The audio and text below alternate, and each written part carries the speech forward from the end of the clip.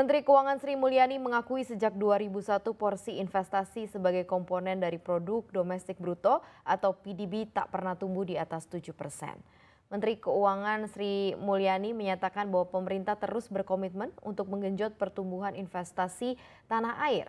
Tahun ini pemerintah optimis ekonomi Indonesia akan tumbuh baik di tengah tekanan global sehingga mampu mendorong kinerja investasi. Sri Mulyani memperkirakan pertumbuhan ekonomi secara keseluruhan di 2019 akan berada di 5,1 persen.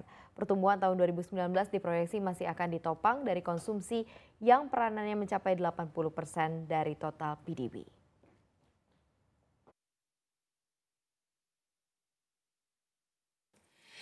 tahun 2001 semenjak reformasi sebetulnya pertumbuhan investasi cukup tinggi namun tetap tidak di atas 7 persen. Oleh karena itu kami melihat tahun 2019 dengan target pertumbuhan 7 per, asumsi 7 persen dan kita sebetulnya melihat tahun 2018 pada akhir periode sudah mendekati 6,9 namun kita waspada tahun 2019 ini terlihat pertumbuhan ekonomi menunjukkan perlemahan terutama di PMTB.